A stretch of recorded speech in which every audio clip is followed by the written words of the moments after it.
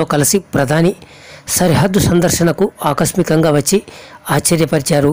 వాస్తవానికి ఈరోజు రక్షణ మంత్రి రాజ్నాథ్ సింగ్ లద్దాఖ్